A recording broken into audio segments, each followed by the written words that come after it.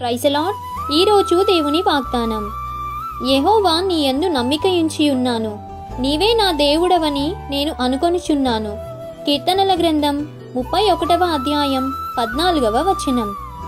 యహోవా వలననే మనకు సహాయము కలుగును. ఆయన భూమి ఆకాశములను సృజించినవాడు. మన రక్షణకు మన మహిమకు దేవుడే ఆధారము.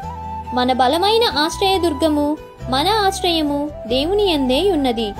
కాబట్టి మన ప్రార్థన దేవుని దృష్టికి అంగీకారంగా ఉంటుందని కోరుతూ ఈ దిన వాగ్దానం మీ అందరి జీవితంలో నెరవేరాలని కోరుకుంటూ దేవుని సువార్త పరిచర్యలో మీ సహోదరి.